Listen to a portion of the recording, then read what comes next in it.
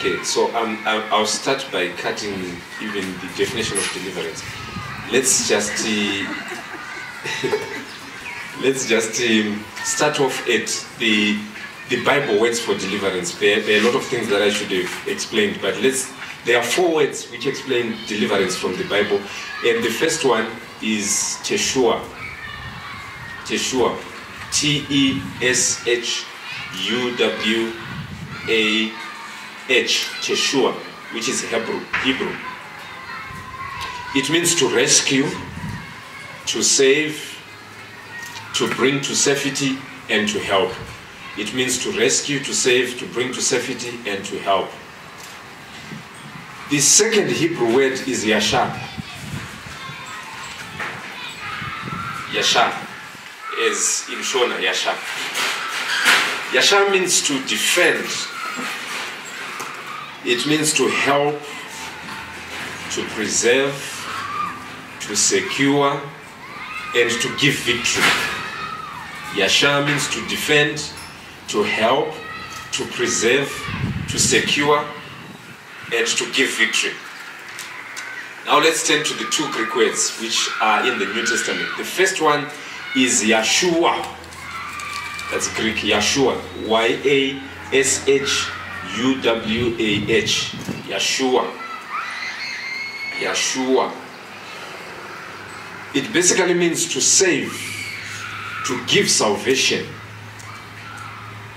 To, to save, to give salvation, to help, give victory, give prosperity, give health and welfare. Yeah, I know I'm very fast. I can feel it. Hope you can feel it as well. The last word in the Bible which explains, which helps us explain deliverance is Yeshua. We are at Amboti Yeshua. This is Yeshua. And this is the same root from which the name Jesus comes from. Because the, the Greek word for Jesus is Yeshua.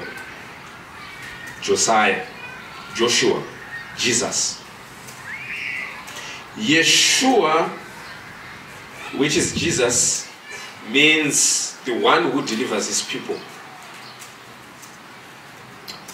The one who delivers his people. And so Yeshua is then used in the same um, way as the word aphesis. A P H E S I S. A P H E S I S. A P H E S I S. Aphesis means to pardon, to give forgiveness. It means to pardon, give forgiveness, freedom. Right. So, I'm not going to give you a definition of deliverance. You just study those four words and come up with what deliverance is.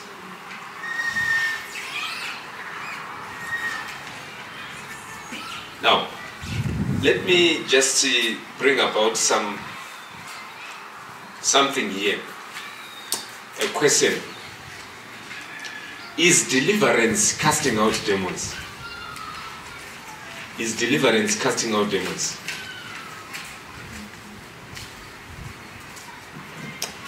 Yeah, because as I'm teaching you, as you are going to be doing deliverance, I want you to understand because many people they, they have um, a wrong perception.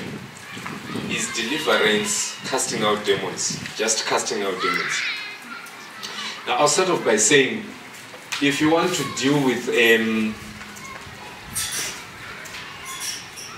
big tree that probably is cracking your your you know um, tiles or whatever. How do you deal with that tree? Do you think continually cutting the leaves or branches will help? I think the best would be to just get some chemicals from the the chemical guys and just go for the roots, what do you think? Because the moment you just deal with the leaves and leave the roots, the thing will just grow up again Yeah. and continue doing the thing.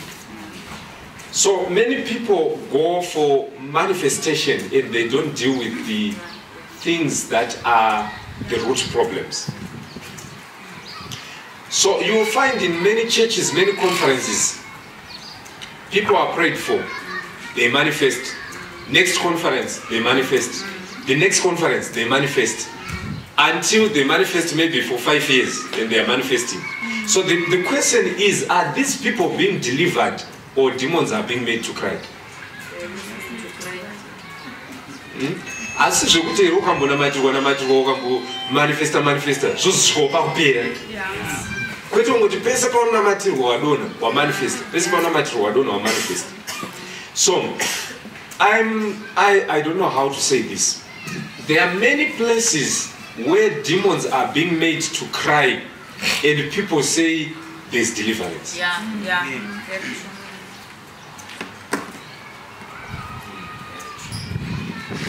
There are many places where people go and the pastor just waves his hand and says, You are free. Yeah. You are free.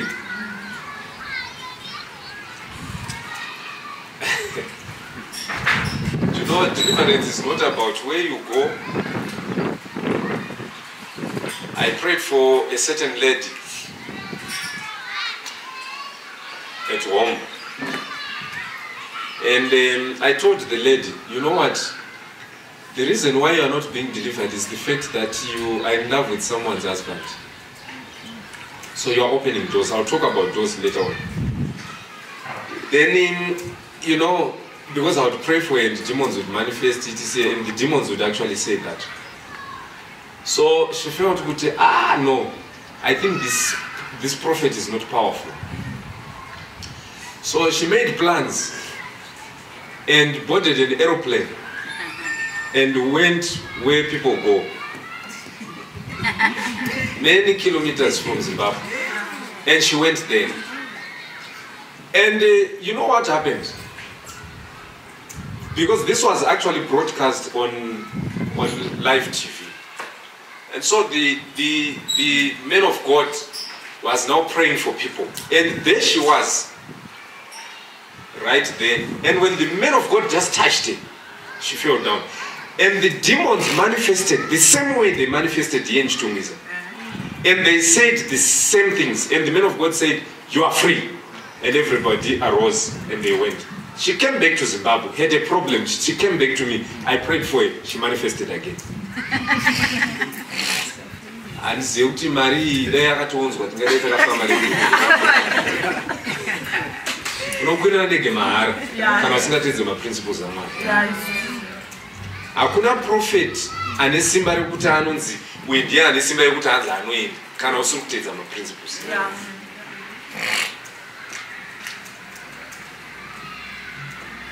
saka ngatidzidzise vanhu deliverance kwete kuchemedza madhimoni chete.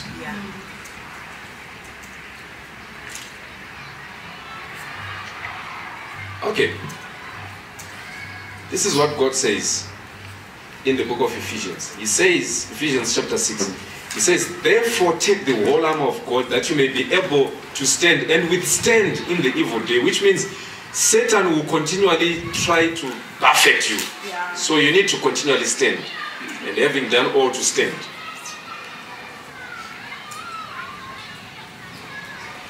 Galatians chapter 1 verse uh, Galatians chapter 5 verse 1 sorry it says stand fast therefore in the liberty wherewith Christ has made you free and don't be entangled again in the yoke of bondage which means you can actually go back to bondage after you have been delivered by Christ Galatians chapter 5 verse 1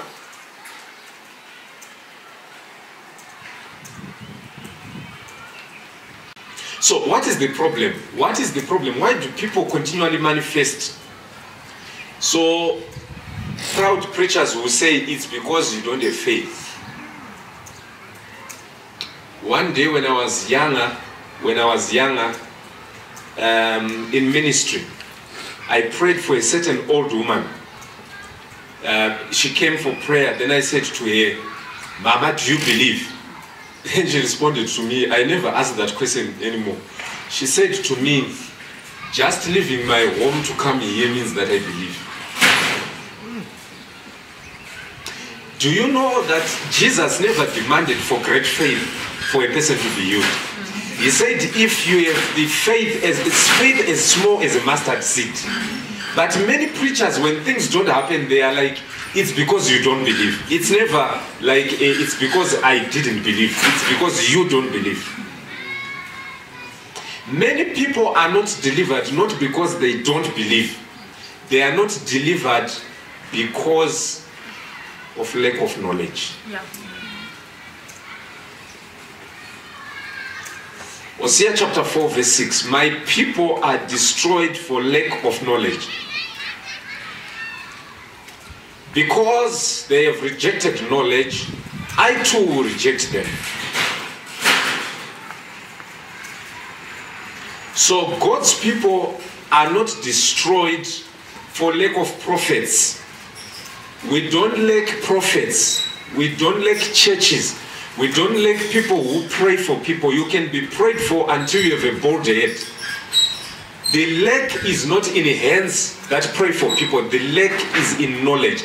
And the problem why people manifest demons and are not delivered is the fact that many deliverance workers just want to demonstrate power but don't want to empower people with knowledge on how they get delivered. Zvinonakidza kungoratidza simba kungodaisiwa vanhu vachingodonha but kuzotora nguva 5 hours uchidzidzisa munhu kuti unochengetedza sei kudzikinurwa kwavo vazhinji havasviki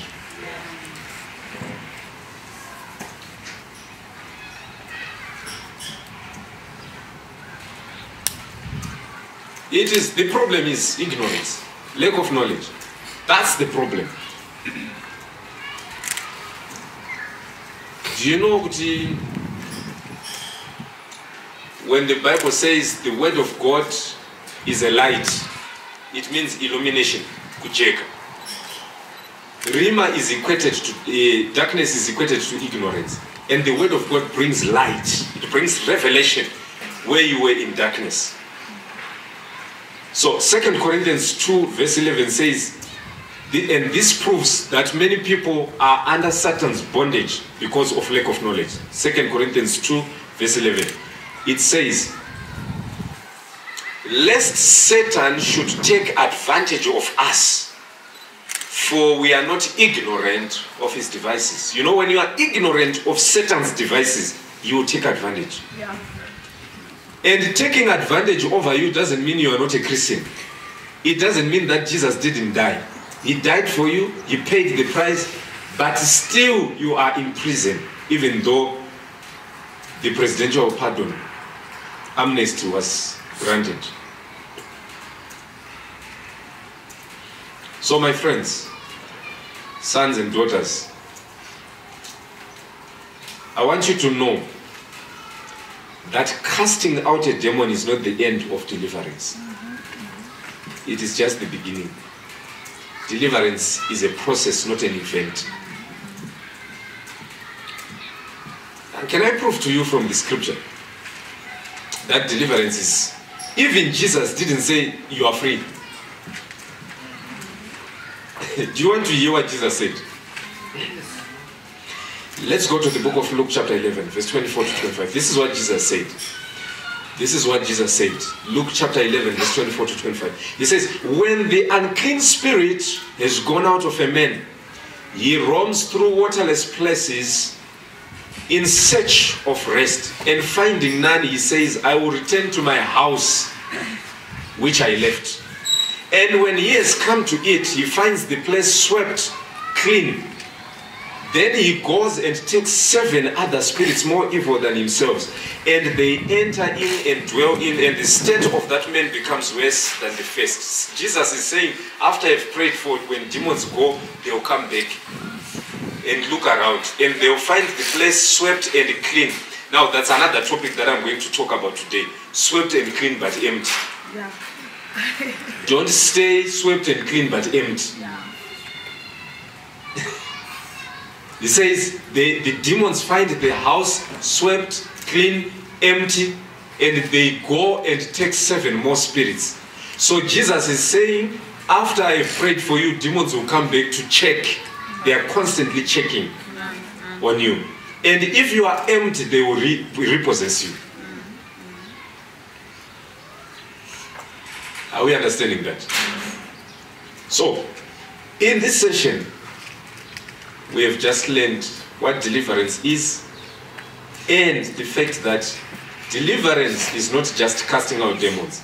Casting out demons is just part of it.